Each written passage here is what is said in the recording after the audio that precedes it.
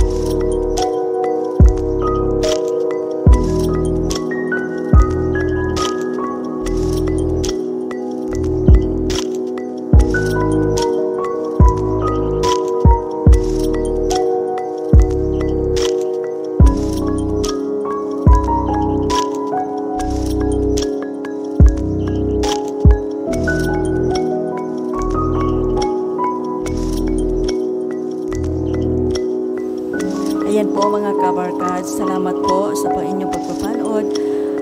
Huwag pong kalimutan i-like and share at sa doon po na bago pa lang dito sa channel ko, don't forget to ring that bell and subscribe.